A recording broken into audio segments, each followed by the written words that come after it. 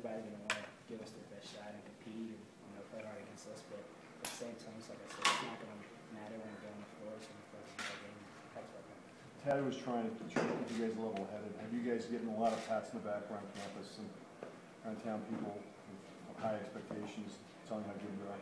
Uh, I don't know about too many pats on the backs, but there is high expectations. You know, you talk to certain people and they're, they're really excited about the season and they want to come out and watch and, you know, they're hoping that we, you know, go further than we did in the past and they're, they're ready for this year. How do you get, how do you get it to the next level?